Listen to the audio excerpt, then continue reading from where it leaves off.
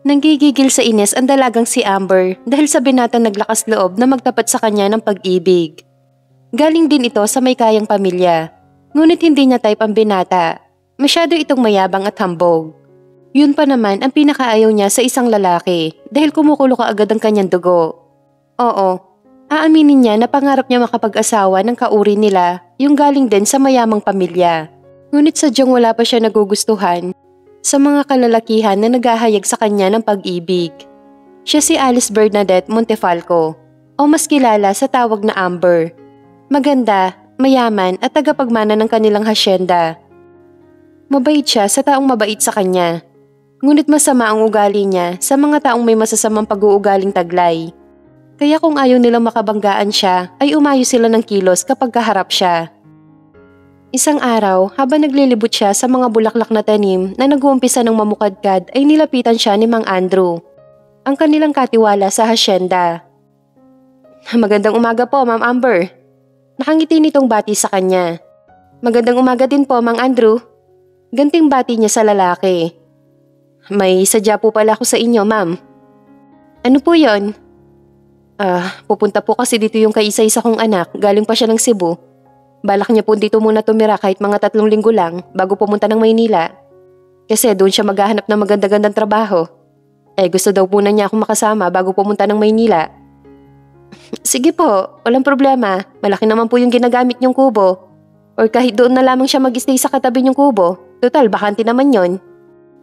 Talaga, Ma'am Amber? Okay lang sa inyo na dumito muna saglit si Benedict? Oo naman po. Kung ganun, maraming salamat po, ma'am.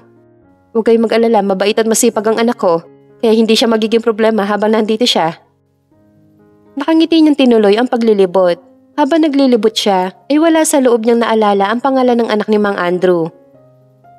Ano kayang itsura ng anak ni Mang Andrew? Siguro gwapo yun, kasing gwapo din niya. Naiiling siyang tinuloy ang paglilibot. Kinabukasan, tinanghali siya ng gising. Pupungas-pungas pa siya lumabas ng kanyang kwarto, ngunit nagulat siya nang makitang may ibang tao sa likod ng bahay nila. Nakatalikod dito sa kanya, pero isa lang ang alam niya. Hindi ito tauhan ng asyenda base sa pananamit nito. Sino ka? Anong ginagawa mo dito sa likod ng bahay namin? Wika niya sa lalaki na kinahinto nito at humarap sa kanya. Ganoon na lamang ang palalaki ng mga mata niya nang masilayan ng gwapo nitong muka. Ngunit nang tumingin ito sa bandang dibdib niya ay doon lamang niya napagtanto na wala siyang suot na bra. Tanging manipis na nightgown lamang ang suot niya at bakit ang maganda niyang katawan. Bigla niyang nayakap ang sarili bago taas kilay na hinarap ang lalaki. Sabi ko, sino ka? Nakasimangot niyang wika sa lalaki. Pasensya na po ma'am. Napag-utusan lamang po ako ni Itay na pumunta dito at kunin itong mga buto ng mangga. Itay? Teka, ikaw bang anak ni Mang Andrew? Opo ma'am, ako nga po. Hindi na niya inintindi pa ang sinabi nito, bagus na pa ako ang tingin niya sa gwapo nitong muka. Ang labi nitong manipis na mamula-mula at ang mga muscles nitong kay lapad. Ma'am, ayos ka lang ba? Untag nito sa kanya na kinabalik ng kanyang katinuan. Oo naman, ayos lang ako. Siya nga pala, ako si Amber. Sabay lahat niya ng palad sa binata. Nag-aalangan ito kung tatanggapin ng pakikipagkamay niya rito. Sa inis niya ay siya na ang kumuha ng kamay nito at dinaop sa palad niyang nakalahad. Parang shake hands lang, hindi pa alam? Inis niyang wika sa binata. Sorry ma'am, hindi lang ako sanay makipagkamay sa babaeng walang bra. Parang kanitong sabi sa kanya. Mabilis niyang niyakap ang sarili at nahihiyang ngumiti sa binata. It's okay, wala ka naman nakita, di ba? Opo ma'am, wala akong nakita. Kinakabahan itong sagot sa kanya na kinangiti niya. Kalma ka lang, hindi naman ako galit sa'yo kung sakali mang may nakita ka. Pilya siyang ngumiti sa binata bago niya ito iniwan sa likod ng bahay. Samantala, pinagpapawisan ng malapot si Benedict, hindi niya inaasahan na makikita niya ang dibdib nito at naiiling na lamang siyang napangiti. Maganda ang dalaga at mukhang mabait. Yun nga lang parang okay lang dito na makitaan ng isang lalaki ang katawan nito. Ayaw pa naman niya sa babaeng ganon. Gusto kasi niya kung magkakanobya man siya ay yung conservative, lalo na sa katawan nito. Ano? Tayo po ang anak ng katiwala niyo? Gulat na wika sa kanya ng pinsang si Carol. Naikwento kasi niya dito ang tungkol kay Benedict at kung gaano ito kagwapo. Hindi pa rin mawala-wala sa isipan niya ang nangyari sa una nilang pagkikita at aaminin niyang nalabat first sight siya sa binata. Oo, bakit? Masama ba? Single naman ako ah. Nakasimangot niyang sagot kay Carol. Oo, masama. Dahil anak siya ng katiwala niyo. In short, anak siya ng alila. Grabe ka naman, Carol. Oo, mahirap lamang sila. Pero wala yun sa estado sa buhay. Ang mahalaga, mahal niyo ang isa't isa. Ay, ewan ko sa'yo. Bahala ka kung anong gusto mong gawin. Hindi na lamang siya kumibo. Buhay niya yon at siya ang masusunod. Kung ano ang gusto niya at kung sino ang gusto niya. Isang hapon, aligagana siya sa kakahanap kay Benedict. Kaya no choice siya kundi ang magtanong kay Mang Andrew. Mang Andrew, si Benedict po nasaan? Si Benedict? Nasa may talon, naliligo ata. Sagot sa kanya ni Mang Andrew. Nakangiti siya nagpaalam rito at binaybay ang daan papuntang talon. May dalawang talon. Ang isang talon ay nasa bungod ng mismong bayan nila at ang pangalawa naman ay nasa dulo ng hasyenda nila. Alam niyang hindi makakapunta sa unang talon si Benedict kaya sa dulo ng hasyenda siya nagpunta. Hindi nga siya nagkamali dahil malayo pa lamang siya ay natatanong na niya si Benedict na naliligo at walang suot pang itaas. Tumikim siya nang tuluyan siya makalapit sa binata. Malamig ba ang tubig? Wika niya sa binata. Nagulat pa ito na makita siya. Hindi naman masyado ma'am. Tipid nitong tugon sa kanya. Kaagad nga siyang tumalon sa tubig na kinagulat nito. Anong ginagawa niyo ma'am? Obvious ba? E di sasamahan ka maligo. Pilya siyang ngumiti dito. Pero ma'am, hindi ba kayo naiilang nakasama niyo ako dito? Bakit naman ako maiilang sa'yo? Umarap siya kay Benedict at ubod ng tamis ng ngumiti. Ramdam niyang naiilang pa rin ito sa kanya kaya mas lalo siya lumapit sa binata. Dahilan para magdikit ang mga katawan nila. Ako man lalayo sana ito sa kanya nang pigilan niya ito. Natatakot ka ba sa akin? Mapangakit niyang tanong kay Benedict. Eh, hindi naman po ma'am. Nautal nitong sagot sa kanya. Huwag mo na akong tawaging ma'am. Amber na lang kasi mukhang magkaedad naman tayong dalawa. Eh hindi po pwede dahil amo ka ng itay ko at kailangan kitang igalang. Okay lang Benedict, saka gusto kitang maging kaibigan. Bulong niya rito habang pinaglalandas ang kanyang mga daliri sa gwapo nitong muka. Maganda ba ako, Benedict? Mapangakit niyang tanong dito. Tumango ito sa kanya bilang sagot na kinangiti naman niya. Titig na titig siya sa mga labing nakaawang nito. Halikan mo ko, Benedict. Mahinang utos niya sa binata, ngunit nakatingin lamang ito sa kanya. Bakit? Bakit ayaw mo kong halikan? Di ba ang sabi mo maganda ako? So ano pang hinihintay mo? Halikan mo na ako. Naiinis niyang wika sa binata. Ma'am Amber, hindi po pwede. Ang mabuti pa'y umahon na po kayo at umuwi na baka may makakita pa sa atin dito. So what? Kung may makakita man sa atin dito, boss nila ako kaya wala silang pakialam kung anong gusto kong gawin. Biglang napataas ang boses niya dahil napapahiya na siya sa mga sandaling yon. Ma'am, bakit niyo po ito ginagawa? Naguguluhan itong tanong sa kanya. Because I like you, Benedict. Please, halikan mo ko. Muli niyang utos sa binata, ngunit bigla siya nitong tinalikuran. Sa inis niya ay hinila niya ito dahilan para maglapat ang mga labi nila. Akman lalayo na sana ito sa kanya nang siya na mismo ang humalik sa binata na kinalaki ng mga mata nito. Saglit lang na nagulat ang binata pero na makabawi siya sa pagkagulat ay kagad niyang naitulak ang amon dalaga. Hindi niya maintindihan kung ano ang nagtulak ng masamang espiritu dito para basta na lamang manghalik ng lalaki. Naiinis siya rito dahil naturingan itong mayaman at may pinag-aralan pero hindi ginagamit ang utak. Basta na lang sungab ng sungab. Hey, bakit mo ako tinulak? Nakataas ang kilay na tanong nito sa kanya na kinabuntong hininga naman niya. Ma'am, kung ayaw niyong mabastos ng mga lalaki, kumilos kayo ng tama. Hindi yung basta na lamang kayong manghahalik, kababain yung tao. Hindi na niya napigilan pa ang inis sa dalaga para ma-realize nito ang pagkakamaling nagawa. Pero mukhang hindi naman tumalab dito dahil nginitian lamang siya nito sabay pa cute. Eh ano naman kung halikan kita? Di ba sinabi ko sa'yo kanina na gusto kita, Benedict? At wala akong nakikitang masama. Ma'am, kung gusto niyong igalang kayo ng mga kalalakihan, matuto kayong igalang ang sarili niyo at pasensya na po dahil hindi ko po kayo gusto. Diretsahan niyang wika rito sabay ahon.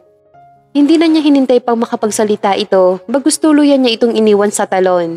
Naiinis siya sa babaeng ganun ang pag-uugali. Yun pa naman ang pinakaayaw niya sa lahat. Naiwan ng gigigil sa inis si Amber. Sa tanang buhay niya, ngayon lamang siya napahiya sa isang lalaki. At hindi siya sanay na napapahiya, lalo pati sa siyang Montefalco. Samantala, napansin naman ni Mang Andrew na nakasimangot si Benedict habang nagdidilig ng mga pananim na petchay. Ngayon lamang niya ito nakitang nakasimangot. Bigla tuloy siya napaisip na baka may problema ang kanyang anak. Benedict, anak, bakit ka nakasimangot? May problema ka ba? Wala naman tay, may naisip lamang ako. Ano naman ang iniisip mo? Itay, matanong ko lang, anong ugaling meron si Ma'am Amber? Si Ma'am Amber? Abay napakabait na bata, magalang at magaling makisama, lalo na sa mga tauhan dito sa asyenda. Alam mo ba, wala pang boyfriend yun, dahil pihi ka sa lalaki. Naisip ko nga bagay ko yung dalawa. Kaya lang syempre, hindi pwede dahil amo natin siya. Bigla siya natawa sa sinabi ng itay niya, napihi ka nito sa lalaki. Naisip niyang may pihikan ba na babae na basta na lamang nang hahalik ng lalaki sa talon? Samantala, mula sa di kalayuan ay tanaw na tanaw ni Amber si Benedict habang nagdidilig. Kausap nito si Mang Andrew. Napapangiti siya habang pinagmamasdan ng gwapong binata. Dalawang araw na ang nakakalipas simula nang halikan niya ito sa talon at hindi niya matanggap na walang naging epekto yon sa binata. Gusto niya ang binata, ngayon pa lamang siya nagkagusto sa isang lalaki. Kaya naman hindi siya papayag na hindi ito makuha. Kinagabihan, sinadya niyang hindi muna matulog na maaga dahil balak niyang putahan sa kubo si Benedict. Gusto niya itong kausapin at sabihin rito na gusto niya ito. At kung kinakailangan na ibigay niya sa binata ang kanyang sarili, ay gagawin niya para makuha lamang ito. Pagpatak ng alas 12 ng hating gabi, ay maingat siya lumabas ng kwarto at nagtungo ng kubo ni Benedict. Napangiti siya nang malamang bukas ang pintuan Maingat siyang pumasok at sinara ang pinto. Nakita niya kaagad ang mahimbing na natutulog na si Benedict. Wala itong suot pang itaas. Naka-boxer shirts ito at hindi nakaligtas sa mga mata niya ang maganda nitong katawan. Maingat siyang naupo sa gilid ng papag at pinagbasdan niya ang gwapo nitong muka. Hindi niya mapigilang haplusin ang makinis nitong muka dahilan para magising ito. Nalalaki pa ang mga mata nito nang makita siya. Ma'am Amber, ano ginagawa mo dito?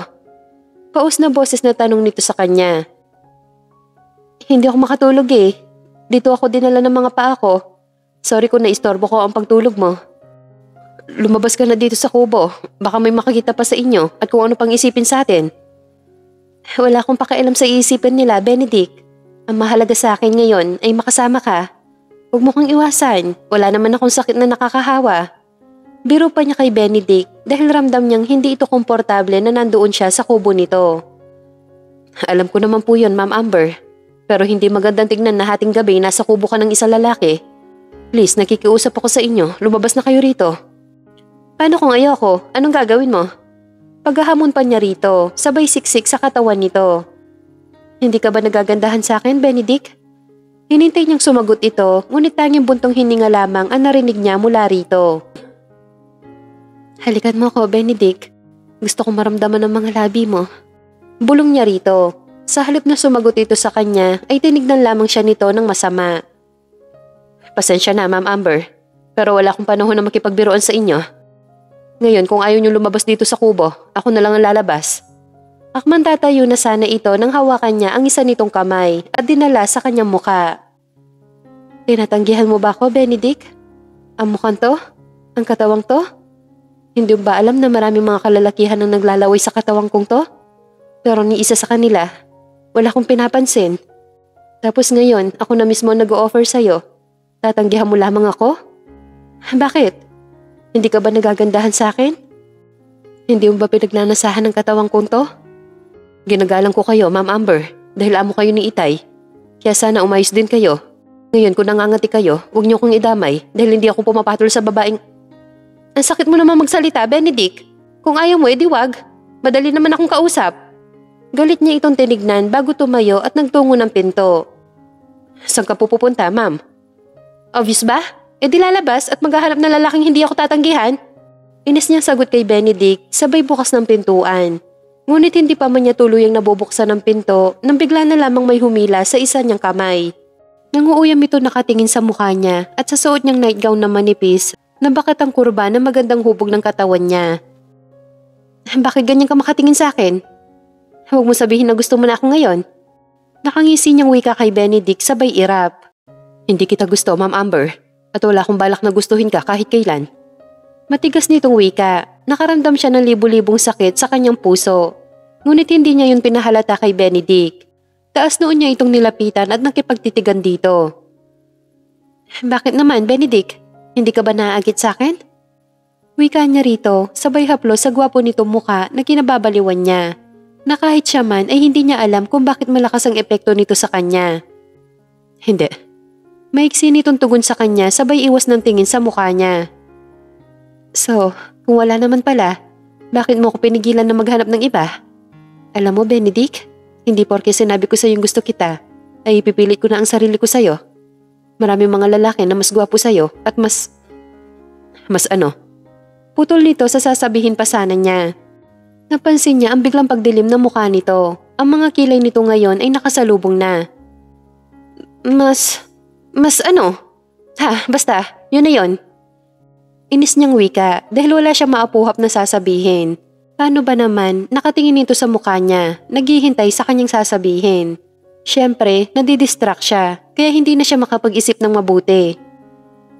Mas magaling ba, Ma'am Amber? Nagulat siya sa sinabing yun ni Benedict. Hindi niya tuloy alam kung paano ito sasagutin. Oops, wala akong sinasabing ganyan. Ikaw ang nagsabi niyan. Alam ko. At gusto ko sa iyong patunayan na hindi totoo ang iniisip mo. Anong ibig mo sabihin? Kinakabahan siyang tumingin kay Benedict. Nakita niyang seryoso ito nakatingin sa mga labi niya. Nagulat na lamang siya na mapansing palapit ng palapit ang mukha nito sa mukha niya hanggang sa basta na lamang nitong siniil ang mga labi niya na mas lalo niyang kinagulat. Nung una ay banayad lamang ang halik na yun sa kanya ng binata. Ngunit kalaunan ay nagiging mapusok ito at mapaghanap. Dahil sa pagkagulat niyang yon ay hindi niya alam kung ano ang gagawin, kung tutugunin ba niya ito o itutulak. Nasa ganoon siyang isipin nang bigla na lamang siyang mapadaing sa sakit nang kagatin nito ang ibabang labi niya. Dahilan para lalo nitong masakop ang mga labi niya. Habang tumatagal ay palalim ng palalim ang halik na yun sa kanya ng binata. Wala siya nagawa kundi ang tugunin ito dahil yun din naman ang gusto niya. Ilang saglit pa ay naramdaman na lamang niya ang paglapat ng likod niya sa matigas na papag habang magkalapat pa rin ang mga labi nila. Naramdaman niya ang mainit nitong palad na ngayon ay nasa loob na ng suot niyang pantulog na nagbibigay sa kanya ng hindi niya maipaliwanag na init. Daig pa niya ang nakukuryente sa sobrang init na hatid nito sa kanya at alam niya kung hindi niya ito pipigilan ay baka tuluyang may maganap sa kanila. Gustuhin man niya, ngunit ayaw ng katawan niya. Dahil aminin man niya sa hindi ay darang na darang na siya sa ligayang pinaparamdam sa kanya ni Benedict. Samantala, nagising si Mang Andrew sa mga boses na naririnig niyang nagtatalo. Dali-dali siyang tumayo at lumabas ng kubo. Nang mapadaan siya sa kubo ni Benedict. Dito ko lang narinig ang mga ingay kanina. May nakabasok kaya dito na hindi namamalayan ng mga gwardya? Kausap niya sa kanyang sarili. Nang pakawalan ni Benedict ang mga labi niya ay titig na titig ito sa mukha niya. Wala ka bang balak na pigilan ako? Pabulong nitong tanong sa kanya. Bakit naman kita pipigilan kung pareho naman tayo ng gusto? Mapangakit niyang tugon kay Benedict. Napansin niyang waring nag-iisip ito. Mali ito, Ma'am Amber. Ang mabuti pa ayusin mo na ang sarili mo, lumabas ka na ng kubo. Ngayon pa, Benedict, kung kailan... No, hindi ayoko. Hindi nga pwede ang gusto mo, ma'am, dahil maling-mali to. Bakit naman naging mali? Eh pareho naman tayong single. I'm sorry, Ma'am Amber, pero hindi ko kaya. Ako man tatayo na sana ito sa pagkakadagan sa kanya. Nang hilain niya ito at siya na mismo ang humalik rito. Naramdaman ka agad ni Amber ang pagtugon nito sa halik niya. Nalabis niyang kinatuwa dahil isa lamang ang ibig sabihin noon. Gusto din nito ang mga halik niya. Siya na mismo ang nangahas na hubad ng suot nitong boxer shorts. Bagamat nanginginig ang kanyang kamay dahil first time niya yung gagawin. Habang abala siya sa ginagawa, ay naramdaman na lamang niya ang mainit nitong palad na humahaplos sa kanyang katawan. Hanggang sa narating nito ang pakay na mas lalong nagpatindi ng init na nararamdaman niya na mga sandaling yon. Alam niya sa kanyang sarili na wala na yung atrasan at nakahanda na siya kung ano man ang magaganap sa kanilang dalawa ni Benedict. Gusto niya ito. Masaya siya na sa binata ipinagkaloob ang kanyang sarili. Ilang saglit pa ay kapwa na sila walang mga saplot. Naramdaman niya ang pagbaba ng mga halik nito sa kanyang batok pababa sa dibdib na kinaliyad niya. Nababalot na siya ng sobrang init na hatid sa kanya ni Benedict. Sa tanang buhay niya, ngayon lamang niya yun naramdaman. Napadaing pa siya sa sobrang sakit nang mapag-isa ni Benedict ang kanilang mga katawan. Halos itulak niya ito pero hindi yun alintana ng binata. Pinaliguan siya nito ng maliliit na mga halik na nakatulong para mabawasan ng sakit na nararamdaman. Ilang saglit pa ay tuluyan nang nawala ang sakit at napalitan ito ng iba yung kaligayahan na tanging si Benedict lamang ang nakakapagparamdam sa kanya. Umalis ito sa pagkakadagad sa kanya at nahiga sa kanyang tabi. Namayani ang mahabang katahimikan. Walang may gusto magsalita sa kanilang dalawa na mga sandaling yon. Pinalipas muna ni Amber ang ilang oras bago bumangon at sinuot ang kanyang mga saplot. Nang tignan niya si Benedict ay tulog na tulog na ito. Maingat niya itong nilapitan at hinalikan sa mga labi. Salamat Benedict. Hindi ko makakalimutan ng gabing to. Dahil ito ang gabing pinakamasaya para sa akin. Hindi ako nagsisisi na binigay ko sa iyo ang pagkababae ko. Dahil gusto kita, Benedict. Kinaumagahan, tinanghali ng gising si Benedict. Pagtingin niya sa orasan ay alas 8 na pala ng umaga. Nalingunin niya si Amber sa kanyang tabi ay wala na ito. Tanging mancha ng dugo sa kobre kama ang nakita niya. Wala sa loob na nahaplos niya yon at tinalalaan na magitan sa kanilang dalawa ng nagdaang gabi. Naiiling na lamang siyang bumangon at nagpa siyang maligo. Oh, tinanghali ka na ng gising, anak. Bungat ka agad sa kanya ng itay niya paglabas ng kubo. Pasensya na tay, medyo napuyat ako kagabi. Nakayuko niyang tugon sa ama dahil hindi niya ito matignan sa mga mata. Alam mo ba kaninang madaling araw, nakarinig ako ng mga boses na nagtatalo kaya lumabas ako ng kubo para tignan kung sino. Kaso wala naman ako nakita na kahina-hinala. Samantala, napansin naman ni Carol ang kakaibang ngiti ni Amber ng araw na yon. Mukhang masaya ka ata. Anong meron? May nangyari sa amin dalawa kagabi ni Benedict. Ano?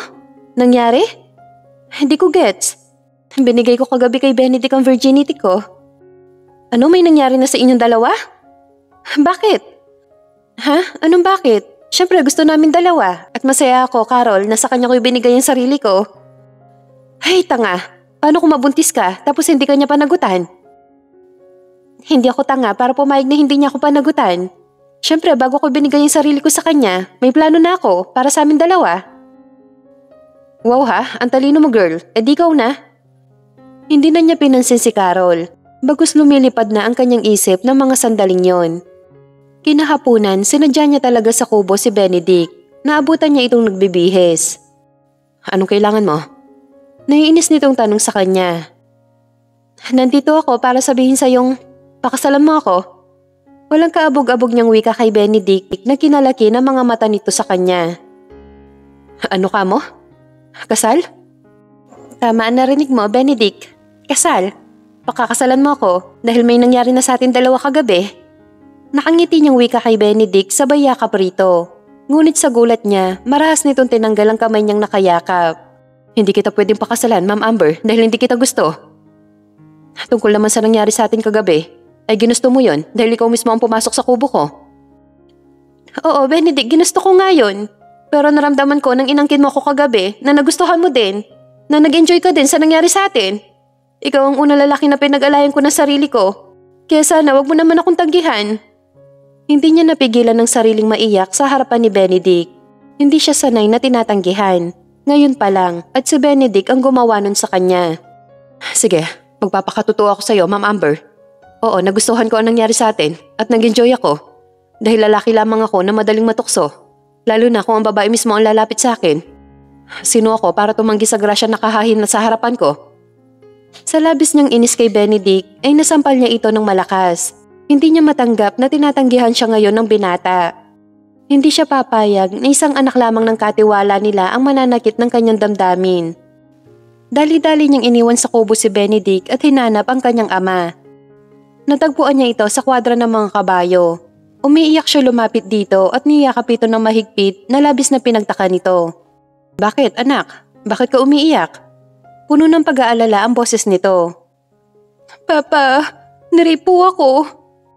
Kaagad niyang wika sa kanyang ama Alam niyang masama ang magsinungaling, ngunit wala na siya magagawa pa kundi ang gawin yon. Nakita niya ang galit sa mga mata ng papa niya na labis niyang kinangiti. Sabihin mo sa akin, anak, sinong lapastangan na humali sa'yo? Sino? Galit nitong tanong sa kanya. "Eh, si, si Benedict po, ang anak po ni Mang Andrew. Walang pag-aalinlangan niyang sagot sa kanyang papa. Nakita niya ang matinding galit sa mga mata ng kanyang ama. Sa gulat niya ay basta na lamang siya nitong iniwan sa kwadra. Kinakabahan niyang sinundan ng kanyang ama. Mukhang alam na niya kung saan nito patungo. Hindi siya papayag na saktan nito si Benedict. Papa, sandali lang, hintayin niyo ako. Tawag niya rito ngunit hindi siya nito pinakinggan. Samantala, nagulat pa si Benedict na makitang paparating ang ama ni Amber at nakasunod dito ang dalaga. Kinakabahan siyang hinarap ang matandang lalaki. Ngunit sa halip na sagutin nito ang pagbati niya, ay kaagad siya nitong sinuntok na kinatumba niya. Mabilis siyang dinaluhan ni Amber. Hinarang nito ang katawan sa kanya. Tama na, Papa. Huwag mo sasaktan si Benedict. Umalis ka dyan, Amber. Galit nitong utos sa kanya.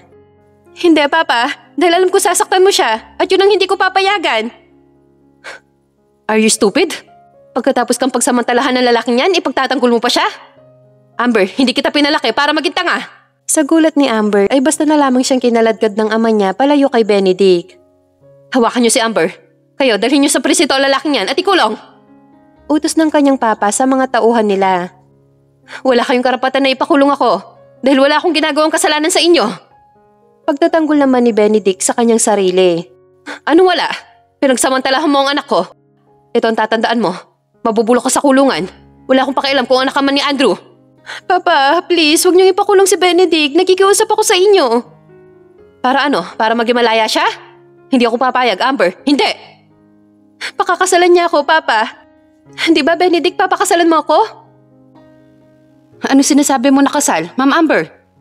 Naguguluhan tanong sa kanya ni Benedict. Bumitaw siya sa pagkakahawak ng papa niya at nilapitan ito.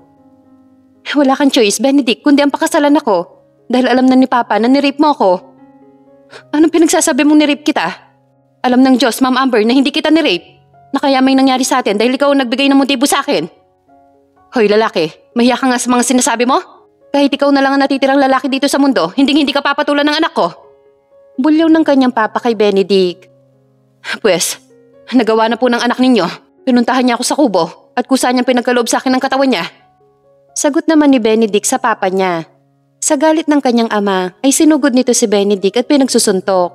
Duguan na ang mukha nito, putok na ang labi. Kaagad siya nitong nilapitan, ngunit sa gulat niya ay tinulak lamang siya nito. Ang kapal ng mukha mo, Amber. Kung alam ko lang na may demonyo nakatira dito, eh di sana hindi na lamang ako pupunta. Pinagsisisihan ko ang araw na nakilala kita dahil kinasusoklaman kita. Baka sa mga mata ni Benedict ang sobrang galit kay Amber dahil lalo si sumpa nito ang dalaga. Ang kapal ng mukha mong pagsalitaan ng ganyan ng anak ko? Bakit? Sino ka ba sa tingin mo? Anak ka lang ng katiwala namin dito. Kaya wala kang karapatan na bastusin ang anak ko. Galit ng wika ng kanyang papa kay Benedict. Dalhin niyo ang lalaking to sa presinto at sabihin mo sa mga kapulisan na huwag hahayaan makalabas sa lalaking yan dahil isa siyang rapist. Utos ng papa niya sa mga tauhan nito. Papa, hindi. Hindi ako papayag na ipakulong mo si Benedict. Hindi. Ang ginahasa ka niya, kailangan niyang pagbayaran ng ginawa niya sa'yo. Please, Papa, nakikiusap ako sa inyo. Huwag niyo ipakulong si Benedict. Hindi pwede. Hindi ako papayag. Pagsusumamo niya sa papa niya, nang hindi ito kumibo ay bigla na lamang siya lumuhod sa harapan nito. Nalabis na kinagulat ng dalawang lalaki. Samantala, hindi makapaniwala si Benedict sa nakikita niya ngayon. Hindi niya inaasahan na gagawin yun ng dalaga para lamang huwag siyang ipakulong ng papa nito. Amber, ano bang ginagawa mo? Tumayo ka dyan. Malumanay na utos ng papa niya sa kanya. Tatayo lamang ako dito, Papa, kung hindi mo ipapakulong si Benedict. Kung hahayaan mo kaming ikasal. Pagmamatigas niya sa kanyang ama. Pero Amber, hindi pwede ang gusto mo. Gusto mo bang pagtawanan ka ng mga kaibigan mo? Ng mga kakilala mo? At higit sa lahat, ang mga pinsan mo? Dahil isang hamak na anak ng katiwala magiging asawa mo? Wala akong pakialam sa sasabihin nila. Ang mahalaga sa akin ay makasama si Benedict. Yun lang po, wala nang iba. Sige, kung yan ang gusto mo, pagbibigyan kita. Tumayo ka na dyan. Hindi bagay sa isang katulad mong Montifalco ang nakaluhod sa lupa, nang dahil lamang sa isang hampas lupa. Umiiyak niyang niyakap ang kanyang ama, walang tigil sa pasasalamat rito. Nang umalis ang kanyang ama at silang dalawa na lamang ni Benedict ang naiwan, ay nakita niya kung paano siya nito tignan ng masama. Grabe ka, Ma'am Amber. Ganyan ka na ba talaga kadesperada para lang makuha ako? Sa totoo lang, hindi ko kinayang kasi ng walingan mo. Kamunti ka pa akong makulong. At ngayon naman pakakasalan kita kahit hindi kita mahal. Sabihin mo na ang gusto mong sabihin sa akin, Benedict, pero wala ka na magagawa pa. Dahil sa akin ka na ngayon at pag-aari na kita. Matapang niyang tugon sa binata. Maari nga napikot mo ako, Amber. Pero itong tatandaan mo, hindi hindi mo makukuha ang puso ko. Pagsisisihan mo ang ginawa mo to sa akin dahil walang oras na hindi kita sisingilin. Galit siyang iniwan doon ng binata. Bagamat nakaramdam siya ng takot sa mga sinabi nito sa kanya, ay pinilit na lamang niyang baliwalain ang bagay na yon. Kinabukasan din na yon ay kinasal sila sa loob ng hasyenda ang mayor ng kanilang lugar na kumpare ng kanyang ama ang nagkasal sa kanila. Masaya siya ng mga sandaling yon dahil asawa na niya si Benedict. Ngunit hindi niya maiwasan ang mga sa nakikita niyang pananahimik nito. Tahimik lamang si Benedict simula nag-umpisa ang kanilang kasal hanggang sa natapos. Wala siya naintindihan sa mga sinasabi ng mayor na nagkasal sa kanila. Ang tanging alam lang niya na mga sandaling yon ay galit siya at kinasusuklaman niya si Amber. Nang matapos ang kasal ay kagad siyang bumalik ng kubo. Ayaw niyang makita ang mukha ni Amber dahil baka kung ano pa ang magawa niya sa babae. Habang nakaupo siya sa papag, nakita niya ang kanyang itay na parating. Hinintay na lamang niya makalapit ito sa kanya. Benedict anak, bakit ka nandito? Bakit mo doon iniwan ang asawa mo? Kagad na wika nito na makalapit sa kanya. Hindi ko siya asawa tay. Saka ayaw ko makita ang pagmumukha niya. Anak, kasawa mo na si Amber dahil kasal na kayong dalawa. Masyadong mabilis ang mga pangyayari kahit ako man ay nagulat din. Ano ba kasi nangyari sa inyong dalawa ni Amber? Bakit sinabi sa akin ni Don Fidel na nirip mo ang anak niya? Totoo ba yon, Benedict? Sa tingin niyo tay, magagawa ko yon? At mismong amo niyo pa? Siyang pumunta dito sa kubo at inakit niya ako. Sinikap ko naman natanggihan siya. Ngunit ang kulit niya at isa pa, lalaki lang ako na natutokso din. Alam ko namang hindi mo yun magagawa, Benedict. Ang pinagtataka ko lamang, bakit sinasabi ni Don Fidel na nirip mo ang anak niya? Dahil yun ang sinabi ng magaling niyang anak. Kung inakala ng Amber na yon na mamahalin ko siya, ay nagkakamali siya. Dahil walang araw na hindi ko siya pahihirapan. Puno ng galit ang kanyang puso ng mga sandaling yon. Kahit pa sabihin na kasalanan lahat ni Ma'am Amber, anak. Mali pa rin ang iniisip mo na gantihan siya. Dahil amo ko pa rin siya. At isa pa, may kasalanan ka din sana kahit anong pangaakit ang ginawa niya sa'yo ay pinigilan mo ang sarili mo. Dahil alam mo namang anak siya ng amo ko. Marahas siya na pabuntong hininga. Kahit ano pang sabihin ng itay niya ay kasalanan pa rin lahat ni Amber ang nangyari. At hindi siya papayag na hindi makaganti sa babae. Na makaalis ang itay niya ay siya naman pagdating ni Amber. Nakabihis na ito. Nandito ka lang pala, kanina pa kita hinahanap sa mansyon. Hindi niya ito pinansin gusto niyang iparamdam sa babae na malamig pa sa yelo ang gagawin niyang pakikitungo rito. Iligpit mo na ang mga gamit mo dahil simula ngayon sa mansyon ka natitira at sa isang kwarto na tayo matutulog. Mag-asawa na tayo, Benedict. Ituring mong pag-aari ang mga pag-aari ko. Katulad ng mansyon at itong buong hasyenda. Sa tingin mo talaga gusto ko ang mga sinasabi mo ngayon sa akin? Para sabihin ko sa'yo at itaga mo dyan sa utak mo na wala akong balak na ariin ang mga pag-aari mo. Hindi kita tinuturing na asawa, kaya pwede ba tigilan mo na ang pag-ilusyon? Kahit ano pa sabihin mo, Benedict, wala ka na magagawa dahil kasal ka na sa akin at asawa na kita. Gagawin ko ang lahat para matutunan mo ako mahalin. Sigaw nito sa kanya. Umalis ka na dito, bumalik ka na sa mansyon mo. Gusto ko na magpahinga. Pagtataboy niya kay Amber, ngunit nanatili lamang ito nakatayo malapit sa kanya. Narinig mo ang sinabi ko, di ba? Umalis ka na dahil gusto ko na magpahinga. Hindi ako aalis dito, Benedict. Kung nasaan ka, dapat ay nandun din ako dahil asawa mo ako. Mabilis siyang tumayo at nilapitan ng nakatayong si Amber. Pinagmasdan niyang mabuti ang mukha nito hanggang sa mapadako ang tingin niya sa dibdib nitong nakalantad sa kanya. Kaya ka ba nandito? Dahil gusto mo ulit maulit ang nangyari sa atin? Matigas niyang wika sa babae. Hindi yun ang pinunta ko dito. Nandito ako para sunduin ka. Matapang nitong sagot sa kanya. Huwag kang mag-alala. Gagawin ko ang lahat para mapasaya kita sa kama. Total, yun din naman ang gusto mo, di ba? Anong ibig mo sabihin, Benedict? Kinakabahan niyang tanong kay Benedict dahil nalilisik ang mga mata nito nakatingin sa kanya. Akmang magsasalita pa sana ulit siya nang bigla na lamang nito sakupin ang mga labi niyang nakaawang. Nagpupumigla siya rito ngunit sadyang malakas ito sa kanya. Namalaya na lamang niya ang pagpunit nito sa suot niyang dress.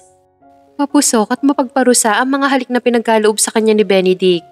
Kapwa pa sila hinihingal na maghiwalay ang mga labi nila. Binitawan man nito ang mga labi niya.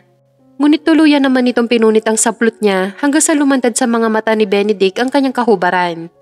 Tanging mga underwear na lamang ang nagsisilbing takip sa kanyang katawan. Nakita niya ang paglunok nito bago pinasadahan ng mga mata nito ang kanyang kahubaran. Hindi na masama. Pwede na. Wika nito saka siyang initian ng nakakaloko. Hindi pa man siya nakakabawi sa ginawa nitong paghalik sa kanya ay muli nitong inangkin ang mga labi niya. Mas mapusok sa pagkakataong yon dahil sa pagmamahal niya kay Benedict kaya pinili na lamang niyang muling ipaubaya rito ang kanyang sarili. Tinagun niya ang mga halik nito sa kanya na sa tingin niya ay nagustuhan naman nito. Naramdaman na lamang niyang sinunod nitong pinunit ang suot niyang underwear sa baba. Ilang sandali pa ay naramdaman niyang mainit nitong palad na humahaplos sa kanyang kariktan na siya nagpawala sa kanyang katinuan. Nang gabing yon, ilang beses siya nitong inangkin at walang pag-aalinlangan na pinaubaya niya rito ang kanyang sarili. Alam niyang napapasaya niya ito habang walang sawa siyang inangkin at sinasamba ni Benedict. Kinaumagahan, kahit masakit ang buong katawan ni Amber, ay pinilit pa rin niyang bumangon. Excited siyang ipagluto at pagsilbihan si Benedict. Gusto niyang ipakita sa lalaki na tama ang desisyon nito sa pagpayag na pakasalan siya. Bago siya umuwi ng mansyon ay dinaanan muna niya ang itay ni Benedict. Tinanong niya rito kung ano-ano ang mga paboritong kainin ni Benedict sa umaga. Ubod ng lapad ang kanyang ngiti habang nagluluto. Gumawa pa siya ng hot chocolate dahil yun daw ang paboritong inumin sa umaga ni Benedict. Naligo muna siya bago nagpunta ng kubo. Bitbit ang mga niluto niyang pagkain. Tulog pa rin ang lalaki. Maingat niya nilapag sa maliit na lamesa ang dalang pagkain at tumabi sa asawa. Ngunit bigla ito nagsalita. Sinong may sabi sa'yo na pwede mo kong tabihan? Ako, syempre mag-asawa tayo. Saka naramdaman ko kagabi na importante din ako sa'yo. Naramdaman ko yun habang inaangkin mo ako, Benedict. Kaya lang naman kita inangkin kagabi dahil obligasyon mo yun sa akin. Kaysa naman ibang babae pa ang angkinin ko, bakit hindi na lang ikaw? Total, gustong gusto mo naman, kaya mo nga ako pinikot, di ba? Sasabihin ko sa'yo, ngayon pa lamang Amber, na hanggang kama lang ang relasyon natin dalawa. Maliban doon ay wala na. Hindi mo ako pwedeng pigilan sa mga gusto kong gawin sa buhay ko dahil wala kang karapatan. Ang tanging obligasyon mo lamang sa akin ay ibigay ang pangangailangan ko bilang isang lalaki. Naririnig mo ba ang sinasabi mo ha, Benedict? Kasal tayo, mag-asawa tayong dalawa, may karapatan ako sa'yo. Wala kang karapatan sa akin, Amber. At wag na wag mo susubukan na pakialaman ako. Kundi makikita mo kung paano ako magalit.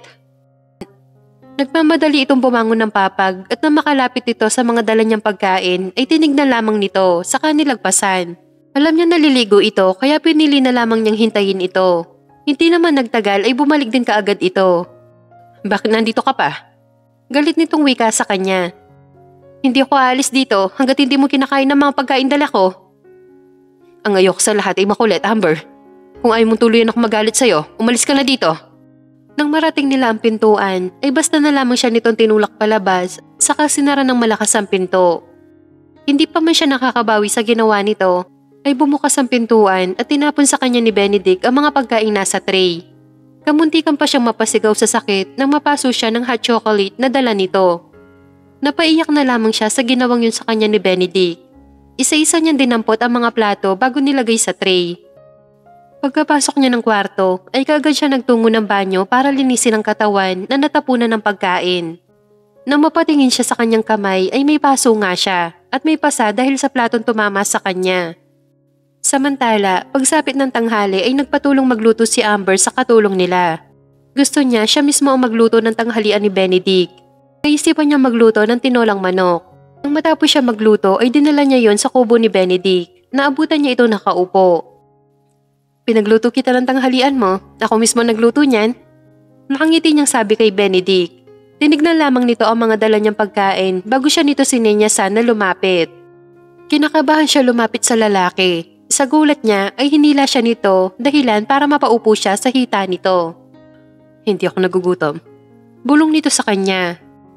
Pero hindi ka kumain kanina. Baka naman malipasan ka na ng gutom. Ibang pagkain ang gusto kong kainin ngayon, Amber. Ano? Ikaw. Pakiramdam niya na mga sandaling yon ay pulang-pula ang kanyang mukha sa sinabi ni Benedict. Hindi naman siya inosente para hindi malaman kung anong ibig sabihin nito. Eh, gutom lang yan, Benedict. Sige na, kumain ka na. Pag-iiba niya ng usapan. Hindi nga ako nagugutom. Bakit marunong ka pa sa akin? Nagulat siya sa biglang pagtaas ng boses nito. Pasensya na. Sige, iiwan ko na lamang dito. Kumain ka na lang kapag nagutom ka na. Kailangan ko nang bumalik ng mansyon eh. May gagawin pa ako. Pagsisinungaling niya kay Benedict, kahit ang totoo ay wala naman siyang gagawin. Tinatanggihan mo ba ako, Amber?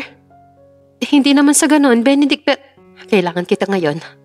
Bulong nito sa tenga niya habang hinahalikan nito ang kanyang lieg na nagdulot ng kakaibang pakiramdam sa kanya. Wala siya nagawa nang punitin nito ang suot niyang skirts. Malaya nitong pinapagapang ang mga palad sa hubad niyang katawan. Ilang sandali pa ay naihiga na siya ni Benedict sa papag habang walang sawa nitong inaangkin ang kanyang mga labi. Wala siya nagawa kundi ang pagbigyan ito sa gusto ng asawa. Kung yun ang magpapasaya sa asawa niya, sino siya para ipagkait yon? Nang matapos ang mainit na sandali sa pagitan nilang dalawa, ay basta na lamang siya nitong iniwan sa kubo. Nakaramdam si Amber ng awa sa kanyang sarili dahil sa nangyari. Ngunit dahil sa pagmamahal niya kay Benedict ay pinili na lamang niyang manahimik.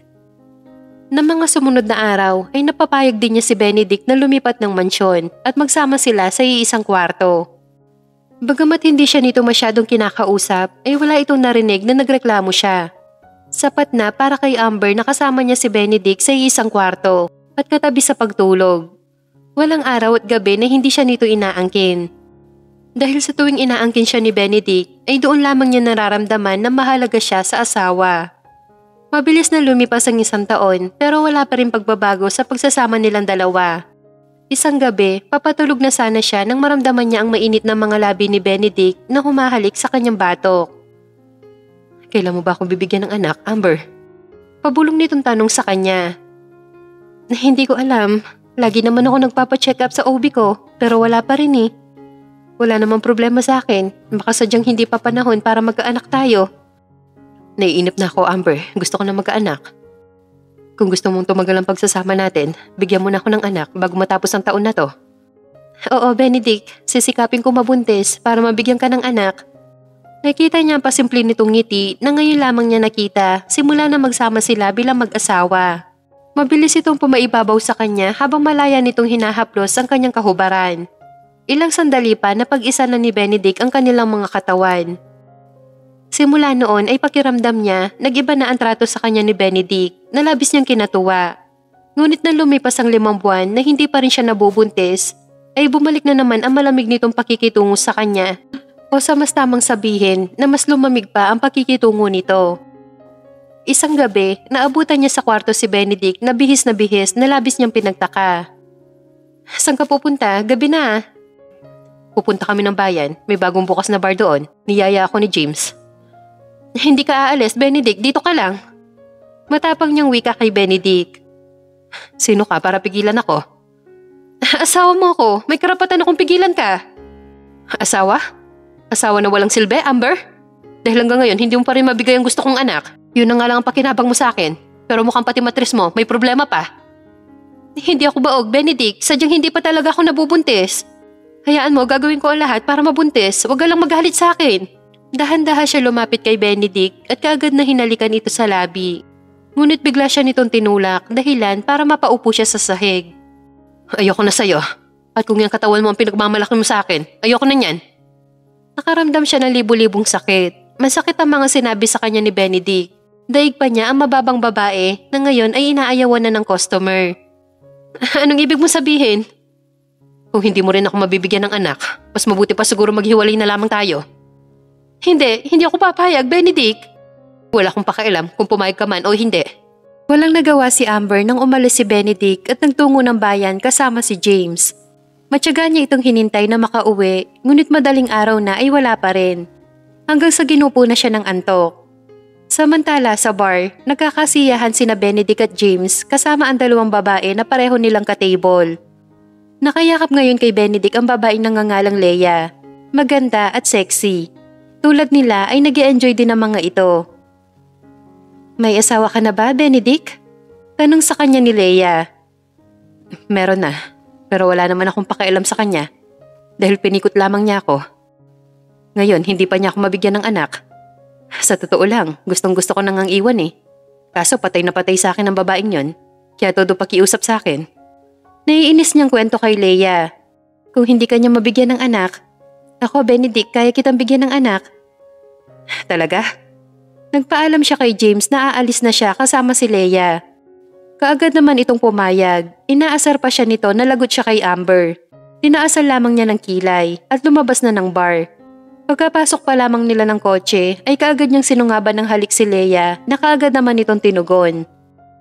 Nasa kainitan na sila nang biglang sumagi sa kanyang isipan ang maganda mukha ni Amber. Mabilis niyang naitulak si Leia na kinagulat naman ito. Ano ba? Bakit mo ako tinulak? Inis nitong wika sa kanya.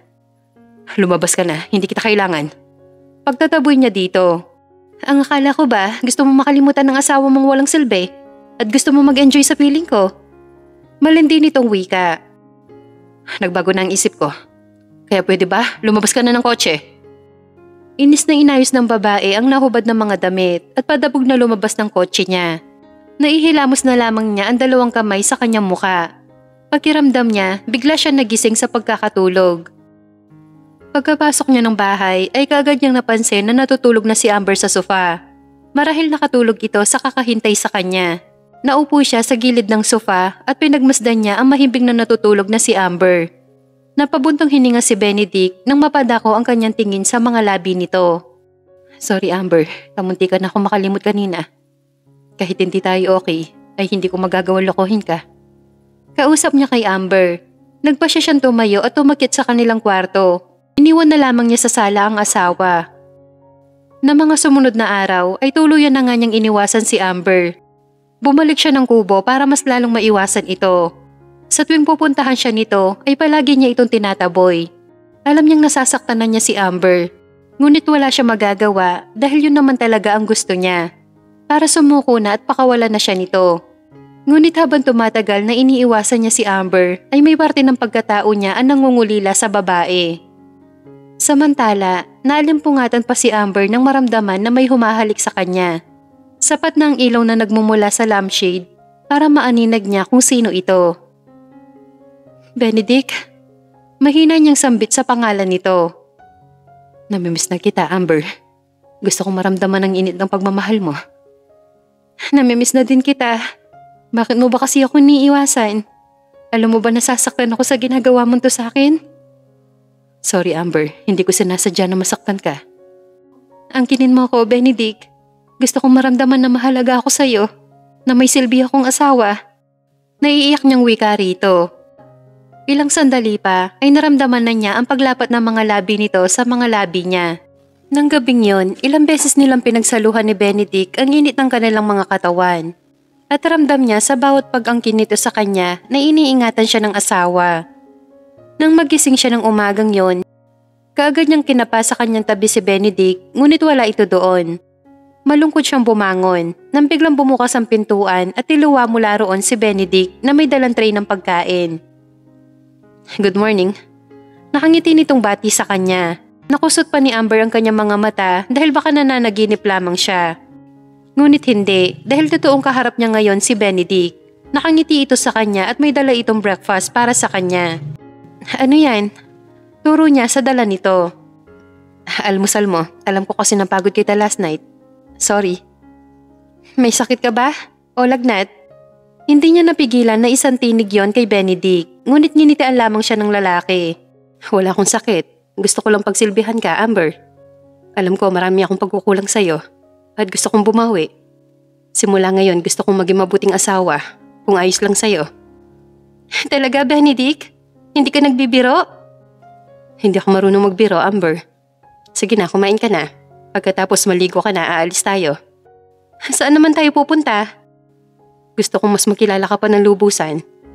Hindi inaasahan ni Amber na maririnig niya yon mula mismo kay Benedict. Ang saya niya dahil sa wakas binuksan na nito ang puso para sa kanya. Mabilis niyang inubos ang pagkain at pagkatapos ay naligo kaagad siya. Pinili niya ang magpantalon na lamang na pinarisan niya ng crop top. Nang matapos siya magbihis, kaagad siyang bumaba Nakita niya si Benedict na nakatingin sa kanya. Sa susunod, huwag ka na magsusuot ng mga damit na labas ang pusod. Bakit naman? Bagay naman sa akin ah. Dahil ayoko. Yun lang. Napangiti na lamang siya. Ewan niya kung tama ba ang tumatakbo sa isipan niya ngayon. Na nitong may makakita sa maganda niyang katawan. Nang marating nga nila ang resto ay kaagad siyang napawaw. Dahil ang ganda at maaliwalas. Bukod doon mukhang masarap ang mga pagkain na nasa menu. Kaagad sila nag-order ng mga pagkain at nang dumating ang kanilang order ay sinimulan nila kaagad na kumain. Tahimik lamang sila habang kumakain nang may babaeng bigla na lamang sumulpot at yumakap kay Benedict na kinagulat niya. Sabi ko na nga ba ikaw yan, Benedict? Malanding sabi ng babae kay Benedict na labis niyang kinainis. Dahil kung makapulupot ito ay daig pa ang sawa. Hindi niya napigilan ng tumikhim at tanungin si Benedict. Sino siya? Ah, siya si Leia. Nakilala ko sa bar nang minsan kami lumabas ni James. Ah, Leia pala ang pangalan mo. Baka naman pwede nang kumalas ka na sa pagkakayakap sa asawa ko dahil nandito ako. Wika niya sa babae habang nakataas ang kilay. So, ikaw pala ang asawa ni Benedict na walang silbi? Walang kaabog-abog na wika nito na kinatayo niya. Pakiulat nga ang sinabi mo? Ang sabi ko, ikaw pala ang asawa ni Benedict na walang silbi. Sino may sabi niyan sa'yo na wala akong silbi? Sino pa? Eh di si Benedict. Sabihin mo nga sa kanya sinabi mo sa akin, Benedict. Sige na.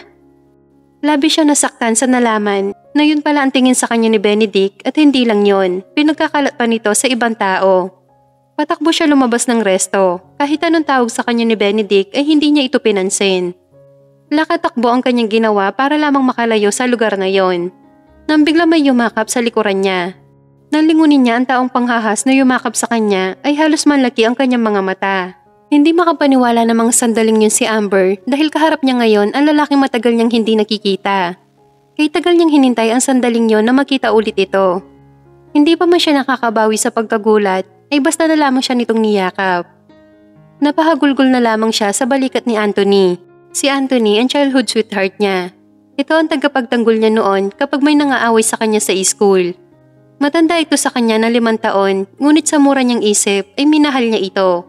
Dahil napakabait nito at talagang alaga siya, ngunit isang araw basta na lamang itong pinadala ng mga magulang sa Amerika. Iyak siya ng iyak sa pag-alis ni Anthony. Nangako ito sa kanya na palagi siyang tatawagan. Nung una ay tinupad nito ang promise sa kanya. Ngunit habang tumatagal ay padalang ng padalang na ang pagtawag nito. Hanggang sa nagdalaga siya. Pagka-graduate niya ng college, nabalitaan niyang engaged na ito sa long-time girlfriend nito.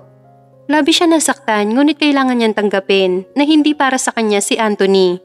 Hanggang sa dumating sa buhay niya si Benedict, unang kita pa lamang niya kay Benedict ay kagad niya itong minahal.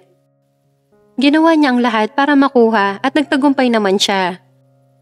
Akala niya kanina ay umpisa na ng masaya nilang pagsasama pero hindi pa pala dahil habang nakatalikod siya ay pinagkakalat nito na wala siyang silbi na asawa Masakit yon para sa kanya na mismong kay Benedict nang galing ang masasakit na salitang yon. Samantala sa resto, nagmamadali niyang hinabol si Amber ngunit hindi na niya ito nakita. Nagpasya na lamang siyang umuwi ng mansyon sa pag-aakalang umuwi na ang babae. Ngunit nadismaya siya nang malaman na hindi pa ito umuwi ng mansyon. Tinatawagan niya ang cellphone ni Amber ngunit ring lang ng ring at ayaw nitong sagutin. Naisip niyang galit ito sa kanya dahil sa mga sinabi ni Leia. Kaya pinili na lamang niyang hintayin itong umuwi para makahingi ng tawad. Kailan ka pa bumalik, Anthony? Kahapon lang. Kaya nga ikaw ang una kong pinuntahan. Nagulat ako na may asawa ka na pala. Kung akala ko, single ka pa. Biglaan kasi ang pag-aasawa ko.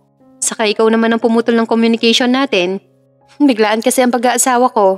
Saka ikaw naman ang pumutol ng communication natin na mag-engage ka na, di ba? Sorry about what happened, Amber. Pinagsalosan ka noon ni Ria eh, kaya kinakailangan kong putulin ng ugnayan natin dalawa. Ngayon na malaya na ako, ikaw kaagad ang naisip ko, Amber. Alam mo ba na ang tagal kong hinintay ang pagkakataong to? Na makauwi dito at makita ka? Ngunit nakakalungkot lang dahil kung kailan malaya na ako, ay ikaw naman ang hindi na pwede. Anong ibig mong sabihin, Anthony? Ikaw ang dahilan kaya nakipaghiwalay ako kay Rhea. Dahil na-realize ko mas mahal kita kesa sa kanya. Sa'yo ako lubos na sasaya, hindi sa kanya at mas lalong hindi sa ibang babae. Mahal na mahal kita, Amber. Paano na ako ngayon na hindi ka na malaya? All this time, akala niya ay hindi siya mahal ni Anthony. Akala niya hanggang kapatid lamang ang turing nito sa kanya, ngunit mali pala siya ng akala. Siguro hindi tayo para sa isa't isa, Anthony. Kaya ganito ang nangyari sa atin. Mahal ko ang asawa ko, hindi ko siya kayang ipagpalit sa iba, kahit sa'yo pa. Diretsahan niyang wika kay Anthony. Narinig niya ang pagbuntong hininga bago malungkot nang ngumiti sa kanya. I understand, Amber. Kung saan ka masaya, masaya na rin ako para sa'yo. So paano, hihatid na kita? Para makilala ko ang maswerte lalaki na kabihag ng puso mo? Sige. Mula sa balkonahe ay nakita ni Benedict na dumating na si Amber. Ngunit nagulat siya na makitang may kasama itong ibang lalaki. Mabilis siyang bumaba at sinalubong. Nagulat pa nga ito na makita siya. Bakit ngayon ka lang umuwi? Gabi na. Saan niya kay Amber? Bakit? Wala ka naman pakialam sa akin kung umuwi man ako o hindi. May pakialam ako, Amber, dahil asawa kita. Pwede ba, Benedict? Huwag ka nang umasta na may pakialam ka sa akin at mas lalong huwag kang umasta na asawa ang turing mo sa akin. Dahil alam natin pareho na hindi yun totoo. Nag-aaway ba kayo, Amber? Singit ni Anthony sa kanilang pag-uusap. Hindi, Anthony. Sorry, pero sa susunod na lang, okay lang ba? Sure, walang problema. Babalik ako dito bukas, yayain kitang mamasyal kung free ka. Free ako lagi, basta ikaw ang kasama. Kung ganon, see you tomorrow. Masaya itong nagpaalam sa kanya. Nang tuluyang makaalis si Anthony, ay nagpa siya na siyang umakyat. Ngunit pinigilan siya ni Benedict. Sino ang lalaking yon? Si Anthony, kaibigan ko. Tipid niyang sagot. Ipapaalala ko lang, Amber, may asawa ka. Masamang tignan na sumama ka sa iba lalaki. Talaga, Benedict? Bakit ikaw? Sumama ka din naman doon sa babaeng haliparot na yon? Huwag mong ibaling ang usapan sa akin, Amber, dahil wala akong ginagawang masama. Ikaw to nakikipaglandian sa lalaking yon. Ah, dito pa mismo sa harapan ko. Hindi ka sasama sa kanya bukas. Naintindihan mo? Sasama ako sa kanya. Hindi mo ako mapipigilan, Benedict. Kung gusto mo, para pareho tayo. Yayain mo din yung haliparot na yon. Inis niyang iniwan sa sala at umakyat ng kwarto. Habang nagpupuyo sa sobrang galit si Benedict sa ginawa sa kanya ni Amber. Hindi ako papayag na sasama ka sa kumag na yon. Pahabol pa niyang sabi kay Amber. Dahil sa nangyari, pinasya niya magtungo ng bayan sa bagong bukas na bar at doon nagpakalunod sa alak. Madaling araw na siya nakauwi ng mansyon. Kahit lasing na lasing siya, ay pinilit niya mag-drive at makauwi ng ligtas. Mahimbing na natutulog si Amber nang dumating ito sa kwarto nila. Hindi niya maiwasan na pagmasdan ang maganda nitong muka. Maingat niya nilapit dito ang kanyang muka hanggang sa marating niya ang pakay sa asawa. Kaganyang inangkin ang mga labi nito dahilan para magising ang natutulog na si Amber. Ano ba, Benedict? Ano bang ginagawa mo? Galit na tanong ni Amber kay Benedict nang pakawalan nito ang mga labi niya. Kailangan kita, Amber. Bulong niya, sapat upang marinig yun ni Amber. Lasing ka, bukas na lang tayo mag-usap kapag hindi ka na lasing, kapag matino na ang isip mo. Akman tatalikuran na sana ni Amber si Benedict nang bigla na lamang nitong sungaban ang mga labi niya. Mapusok ang mga halik nito sa kanya habang marasang ginagawa nitong paghaplos sa kanyang katawan. Nang hindi ito makontento, ay ubod ng lakas nitong tinanggal ang suot niyang pantulog. Ano ba, Benedict? Ano ba? Galit na pagpupumiglas niya sa lalaki. Akin ka lang, Amber. Walang kahit sino mang lalaki ang pwedeng may mag-ari sa'yo, kundi ako lang. Gusto man pigilan ni Amber ang ginagawa sa kanya ni Benedict na mga sandaling yon ay hindi naman niya magawa dahil unti-unti na rin siya nadadarang sa init na binubuhay nito. Wala siya nagawa kundi ang pagbigyan ang gusto ng kanilang mga katawan. Ramdam ni Amber ang pangungulila sa kanya ni Benedict sa bawat mga halik at haplos nito sa kanya. Ilang sandali pa ay matagumpay na napag-isa ni Benedict ang kanilang mga uhaw na katawan. Kinaumagahan, nagulat pa si Amber nang paggising niya ay nasa kanyang harapan si Benedict. Bihis na bihis ito. Hindi niya pinansin ang asawa Bagkus nagtalokbong siya ng kumot, ngunit sa gulat niya ay tinanggal yun ng lalaki. Ano ba? Natutulog ako, istorbo ka. Singhal niya sa lalaki. Gumising ka na, alis tayo. Malumanay nitong wika sa kanya. Aalis? Saan naman tayo pupunta? Mamaya mo malalaman. Bumangon ka na, inihanda ko na ang panligo mo. Talaga? Ano yan, peace offering mo sa akin? Dahil sa ginawa mo sa akin kagabi? Pasaring niya sa lalaki, ngunit ginisihan lamang siya nito. Alam natin pareho na pareho natin gusto ang nangyari kagabi, Amber. Saka walang masama kung angkinin man kita. Dahil asawa kita at akin ka lang. Hindi mo ako pag-aari, Benedict. Kaya wag kang feeling. Ayoko makipag-away sa'yo dahil masyado pa maaga. Maligo ka na, hihintayin na lamang kita sa garahe. Nakasimangot na bumangon si Amber at nagtungo ng banyo. Totoo nga, nakahanda na ang panligo niya. Nang matapos siya maligo ay kaagad siya nagbihis at bumaba. Hindi pa man siya nakakalabas ng bahay ay nakita na kaagad niya sa garahe si Benedict. Nilapitan niya ito at hinarap, ngunit tinalikdan lamang siya nito at sumakay ng kotse. Walang nagawa si Amber kundi ang sumakay na rin. Saan ba tayo pupunta? Mataray niyang tanong kay Benedict. Sa lugar na malayo sa Anthony na yon. Ha? Saka lamang napansin ni Amber na ibang daan ang kanilang tinatahak. Teka, saan mo ba ako dadalhin ha, Benedict? Sa lugar ng tayong dalawa lang, Amber. Walang kabuhay-buhay nitong sagot sa kanya. Baliw ka ba? Kidnapping tong ginagawa mo sa akin ah. Paano naging kidnapping? Mag-asawa tayong dalawa, Amber. Pwede kitang dalhin sa kahit sa lugar. Naiinis na nanahimik na lamang si Amber dahil mukhang wala namang balak na ibalik siya ng hasyenda. Matapos ang ilang oras na biyahe ay huminto ang kotse. Mabilis siya sumilip sa bintana. Tahimik ang lugar at walang bahay siyang nakikita. Hoy, Benedict, nasan tayo? Anong lugar to? Bakit ang tahimik? Kinakabahan niyang tanong kay Benedict. Ito ang lugar na tayong dalawa lang. Walang mga epal o kung mag na makakapasok dito. Solo natin ang lugar na to, Amber. Walang istorbo. Ewan ko sa'yo, ang dami mong alam. Bumaba siya ng kotse, napatingin siya sa kapaligiran. Kung hindi siya nagkakamali, nasa isang bundok sila sa isang liblib na lugar. Naiiling na lamang siyang napatingin kay Benedict. Hindi niya alam kung ano ang trip nito, kung bakit siya nito dinala sa lugar na yon. Naglakad sila sa kakahuyan. Makalipas ang ilang sandali ay narating nila ang isang bahay. Simple lamang ang bahay pero masarap sa matang tignan.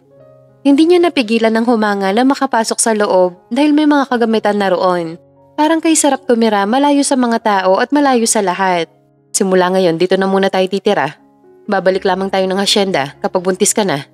Wala sa loob na napatingin siya sa mukha ni Benedict. Seryoso ito sa sinasabi. Alam niyang hindi ito nagbibiro. Bahala ka kung yan ang gusto mo. Siguraduhin mo lang na alam ng papa ko ang pinanggagawa mong to. Alam mo kung gaano niya ako kamahal kaya humanda ka sa kanya. Pananakot niya, ngunit nginisiha lamang siya nito. Hindi ako natatakot sa papa mo. Dahil siya pa nga may gusto na umalis tayo para mabigyan na natin siya ng apo. Hinirapan lamang niya si Benedict. Naupo siya sa upuang kahoy at tumingin sa labas. Hinayaan lamang siya nito na nakaupo habang ito ay todo asikaso sa pananghalian nila. Gusto sana niya itong tulungan pero naiinis pa rin siya kay Benedict. Nang matapos magluto ay niyaya siya nitong kumain In fairness, masarap ito magluto kahit na simpleng pagkain lamang yon. Ayaw mo ba akong kasama dito, Amber? Basag nito sa pananahimik niya, ngunit hindi siya kumibo. Gusto mo pa rin ba si Anthony? Ayaw mo na ba sa akin? Muli nitong tanong sa kanya. Nagsiselos ka ba kay Anthony? Hindi niya napigilan ng sarili na itanong yon. Kung sasabihin ko ba na nagsiselos ako sa kanya, matutuwa ka ba? Depende sa dahilan mo. Bakit ka nagsiselos kay Anthony? Mahal mo na ba ako? Lakas loob niyang tanong kay Benedict. Kahit may takot sa kanyang puso sa maaari nitong isagot sa kanya. Oo, mahal na mahal na kita matagal na. Bigla siya napaharap kay Benedict nang sabihin nito ang mga katagang yon. Mahal mo na ako? Matagal na? Kailan pa? Sa araw-araw na ginagawa mo at pagpapakita mo sa akin kung gaano mo ako kamahal, unti-unti ay natutunan na kitang mahalin at nang araw na pumunta ako ng bar, natukso ako kay Leia. Naisip ko na baka mabibigyan niya ako ng anak kung sasama ako sa kanya. Pero bigla na lang ako napaisip na hindi ko kaya lokohin ka. Kaya hindi natuloy at walang nangyari sa amin. Sisingsisi ako ng araw na yon kaya sinubukan ko lumayo sa'yo. Pero hindi ko kaya. At dumating pa si Anthony kaya sobrang takot ko na mawala ka sa akin. Kaya nilalayo kita sa kanya. Mahal na mahal kita, Amber at gusto ko mag-umpisa tayo sa lugar na to. Babawi ako sa'yo, lahat gagawin ko para mahalin mo ulit ako. Hindi ko kayang mawala ka sa akin, Amber. Kung kinakailangan na dito na tayo tumira, hanggang sa pagtanda natin, gagawin ko. Huwag ka lamang maagaw sa akin ni Anthony. Dahil sa akin ka lang. Hindi ko alam kung matutuwa ako sa pinagtapat mo sa akin ngayon, Benedict. Ang tagal kong hinintay na mahalin mo ako. Bakit ngayon mo lang sa akin sinabi to? Sorry, naduwag ako. Pero ngayon, gusto ko nang itama ang lahat. Mahal kita at sana mahal mo pa ako. Dahil masasaktan ako ng labis kapag hindi mo na ako mahal. Wala naman nagbago, Benedict. Mahal pa rin kita. Wala kang dapat na ikatakot dahil wala kang kaagaw sa puso ko. Nag-iisa ka lang dito, okay? Talaga, Amber? Oo nga, ayaw mo ba? Siyempre, gustong gusto ko. Mabilis siyang niyakap ni Benedict at ginawaran ng halik sa pisngi. Naging masaya ang pagsasama nila ni Benedict. Walang araw na hindi nito pinaparamdam sa kanya kung gaano siya nito kamahal, na labis na nagpapataba ng kanyang puso. Makalipas ang apat na buwan ay nagpa siya silang bumalik ng hasyenda na labis na kinatuwa ng mga magulang niya. So ano na Benedict, may apo na ba kami? Kaagad na wika ng papa niya na sinugundahan din ng itay ni Benedict. Napakamot ng ulo si Benedict na ginatuwa ni Amber. Ano ba yan anak? Apat na buwan na kayo nag-honeymoon tapos hindi pa rin kayo nakakabuo? Ano kaya kung magpatingin ka na sa doktor? Para malaman natin kung bakit hindi mo pa rin nabubuntis ang asawa mo. Wika ng itay ni Benedict. Sige po tay, tugon naman nito kaagad sa ama. Hindi na kailangan, Benedict. Singit niya sa usapan ng mga ito. Bakit mahal? Sabay tingin sa kanya ng tatlong lalaking kaharap niya. Dahil buntis na ako, magiging daddy ka na. Talaga, mahal ko? Totoo, Benedict, dahil bago pa tayo nagtungo ng bundok, ay buntis na ako noon. Hindi mo ba napapansin na lumalaki ang tiyan ko? Napapansin ko pero akala ko ay... Oh, tama na yan. Ang mahalaga, buntis ka na, Amber. Bukas na bukas din magkakaroon ng handaan dito sa asyenda para sa paparating kong apo. Putol ng papa niya sa pag-uusap nila ni Benedict. Salamat mahal ko. Ang akala ko ako ang baog, kaya hindi kita mabuntis. Pero bakit mo nilihim sa akin to? Eh kasi nga naiinis ako sa'yo dahil sa haliparot na babaeng yon. Pero nung nasa bundok tayo, gusto ko namang sabihin sa'yo. Ang kaso naisip ko na saka na lang pagbalik natin dito para masaya. Ano man yan, basta masaya ako dahil magiging ama na ako. I love you mahal ko. Sabay halik niya sa mga labi niya na kagad naman niyang tinugon. Kinabukasan nga ay nagkaroon ng salo-salo. Inimbitahan lahat ng papa niya ang mga kaibigan nito, maging ang mga trabahador ng buong asyenda. Dumating din si Anthony at masaya si Amber dahil nagkaayos na ang dalawang lalaking mahal niya. Nagpaalam na rin sa kanya si Anthony na babalik na ito ng ibang bansa. Mabilis na lumipas sa mga araw at buwan, dumating ang araw ng panganganak niya. Normal niyang nailabas ang kanilang little prince Benedict. Napakasaya ni Amber dahil sa wakas buo na sila bilang isang pamilya. Dahil may anak na silang kukumpleto ng kanilang pagmamahalan.